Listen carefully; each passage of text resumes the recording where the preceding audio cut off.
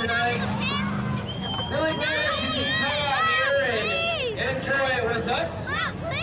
Tonight's show is sponsored by Coca-Cola, Dasani, Ottawa Lifts and More, Rookies Ottawa Tire, H.I. Stone, Action, Harris Golf Carts, Hampshire Auto Parts, Metro Lift Incorporated, All right, Spotlight Shop, Bud Light, and Miller Lite.